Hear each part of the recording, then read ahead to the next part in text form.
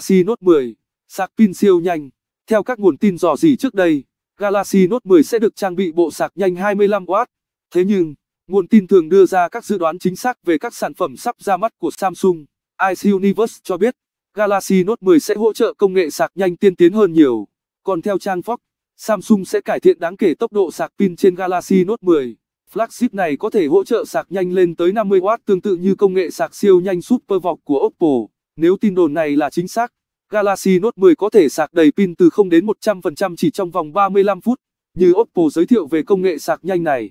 Trước đó, các thông tin dò dỉ tiết lộ Galaxy Note 10 có đến 4 phiên bản khác nhau, gồm hai phiên bản kết nối 4G và hai phiên bản 5G, màn hình từ 6,28 inch đến 6,75 inch, có 3 hoặc 4 camera sau. Thiết kế và cấu hình của Galaxy Note 10 được dự đoán sẽ không có nhiều thay đổi so với Galaxy S10 vừa ra mắt. Khác biệt chủ yếu có lẽ ở cây bút S Pen mới và những tính năng đi kèm. Trong vài tuần tới, thông tin về Galaxy Note 10 sẽ tiếp tục nóng lên. Note 10 là flagship của Samsung dự kiến sẽ ra mắt vào tháng 8 tới.